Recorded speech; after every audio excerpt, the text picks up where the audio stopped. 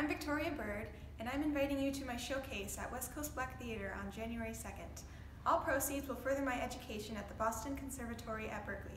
Here's a quick preview.